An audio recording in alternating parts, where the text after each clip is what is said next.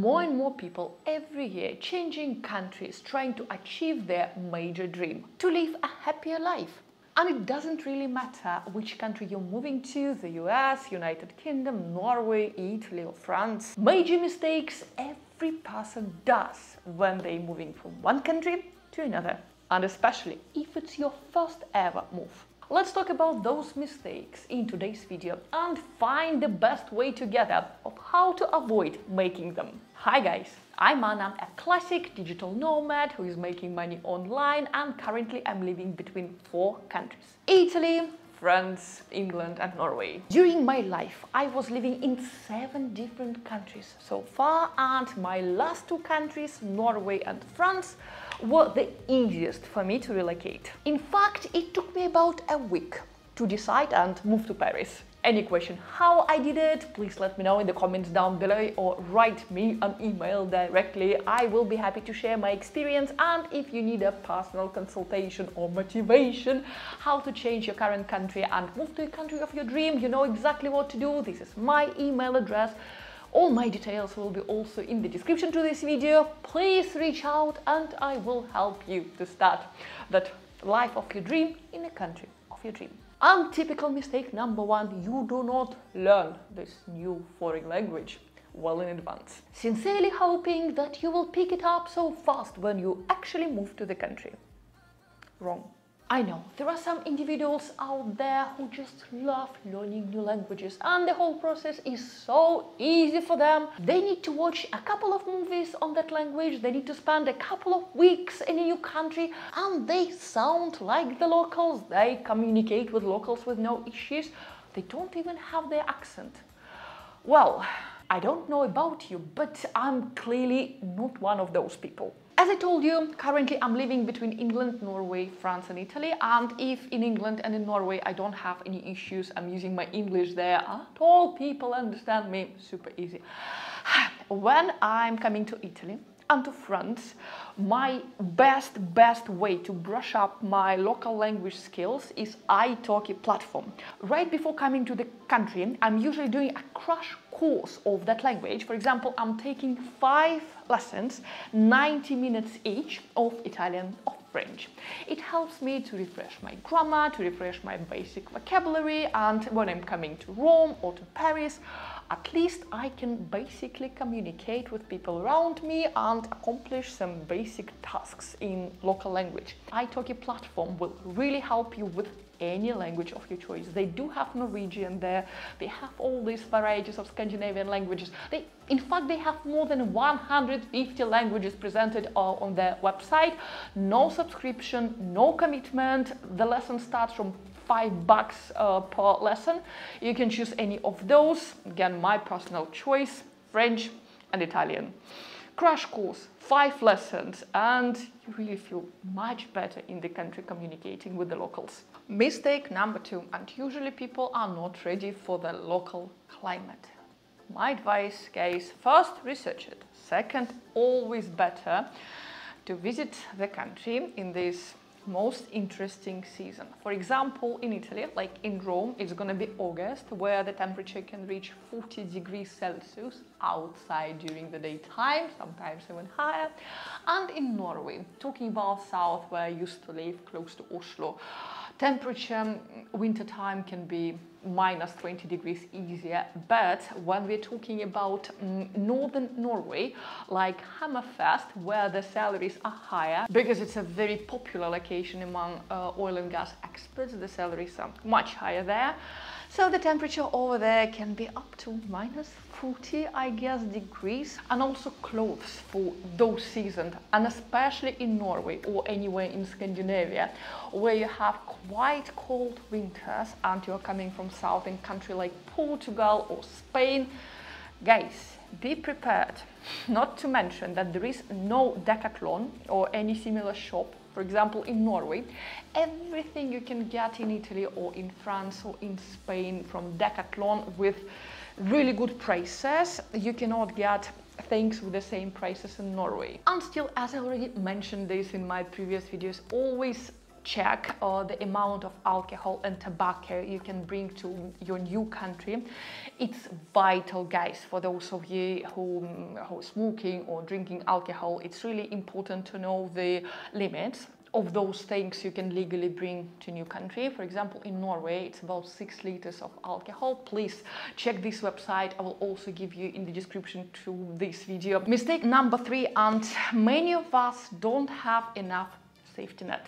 And especially for you guys who are planning to move to Norway, don't forget that to open a bank account there can might take you up to six months, depending on uh, which country you're coming from. Because of this money laundering policy, and the bank will be checking all your financial activities before opening you a bank account. So think in advance.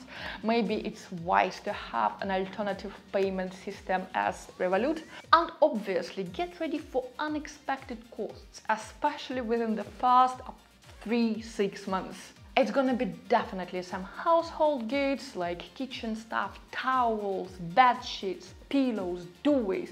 If you're not bringing all of this from your own country, you will have to buy the majority of them.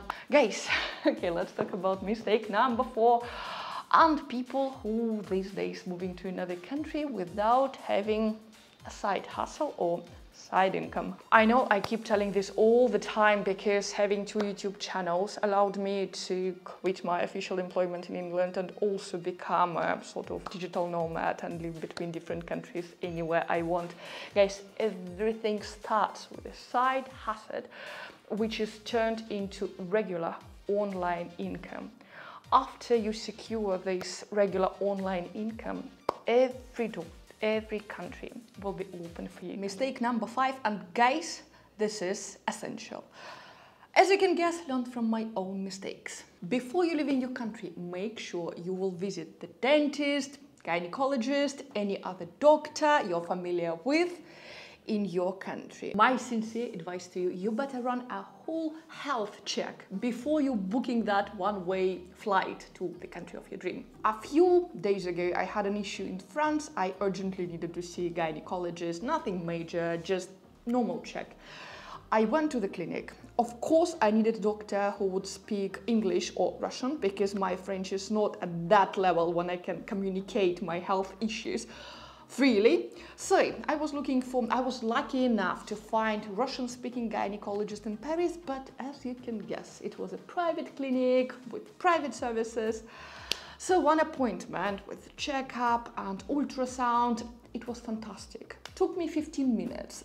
Lovely conversation in my mother language, which costed me about 200 euros. Yes, 200 euros. And thank God I have my insurance. Otherwise, right from my pocket. If you're coming from the US, if you're coming from Britain, now guys, consider opening international insurance, which will definitely cover all at least basic medical procedures in the country of your dream. Mistake number six. No one realizes how lonely you will feel in a new country and especially for the first three to six months. So looking all these gorgeous pictures, oh my god, that nature in Norway is so amazing and it will suit me so well. And of course I can FaceTime and Zoom my family and see them every weekend. Guys, it's not the same. And for people who moving to another country to join their partners, that's gonna first three, six months will be the best ever check of your relationships try all these meetups, all these international events. Oh, as far as I know, there is a website called Internations. They're also doing lots of events and you can com communicate with people over there. This is my advice. It was when I moved to England. This is what I used to do when I finished my university, moved to another city and needed a little bit of people to socialize with. For people with social media, Instagram, YouTube, it works totally different. Guys, no matter that I just moved to France, um, sometimes I really, I have no time to meet people. I have two YouTube channel. I opened my relocation agency. I'm speaking to my team. I'm speaking to my clients. I'm doing a lot of private consultations. And by the way, by the end of the year, I decided also to do some free consulting uh, on Tuesday and Thursdays. I have maybe like four hours a week, but they are available and uh, all my details in the description to this video. Guys, this is only for this year, so please don't get upset if you are not in the list. Anyway, I'm doing these services too, so I don't really feel lonely. And mistake number seven, you're giving up too soon. With my own experience of living in seven different countries, it happens every single time. First, one to three months, you have this honeymoon with a new place. You're so happy, it's so different, it gives you so much emotions and you're just happy. You, you, you're getting familiar with these things. You're meeting new people. You're rearranging your lifestyle. You're discovering this place so you don't really think much about being like, you feel like a tourist for that first time. From month number three, usually up to eight months or sometimes up to one year, when this tourist um, visitor situation fades, you start realizing I don't speak the local language or I speak it with an accent. I don't have friends. I don't know where to go if anything happens. And you start missing home, you feel like you don't understand people around you, and you also start seeing those um, little things about the country you could never see with eyes of a tourist or a visitor. So you're becoming local. For example, uh, your internet doesn't work or you need to contact local authorities in order to get some help or something. And something usually doesn't work properly. It takes you time. They don't understand you. And all this, all in all, and um, usually you start thinking, oh my God, it was, it was better in my country. Should, should I just go back? Because now everything seems so difficult. Guys, at that point, just remember, life is checking you. It's testing you. From my own experience, just carry on and keep pushing. Don't give up too soon. Don't give up too early. Stay for at least 12 months. And I want to finish this video with a little bit of bonus section to give you some advice what you should never say or even think when you're moving to a new country. First, stop saying at any occasion, but in my country, I've had this so many times, especially in Norway, considering the prices of alcohol. Every single person who's coming, especially from outside Scandinavia, the first like, oh my god, but in my country alcohol is so much cheaper. Yes, we know. And that's why from Norway we're going probably to your country to have our summer holidays because everything looks so cheap. Yes, Norwegians will never tell you, but this is what they think. Second, do not complain about your new country. Especially never complain about it to the locals. And no matter that they will be complaining to you about it, you just politely nod or try to change the subject, but do not respond and about with your harsh opinion.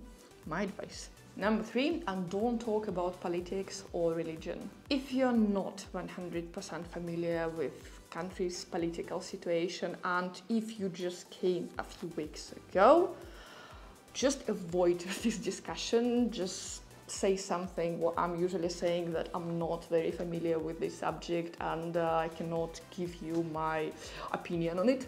Number four, and I already mentioned this before, do not stay in your native, like local community.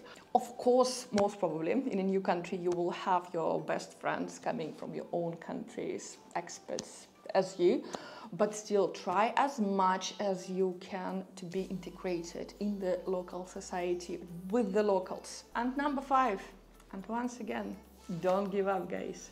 Do not give up. Give yourself a chance. If you decided to move to a new country, if you actually made it, give yourself some time. Don't overreact.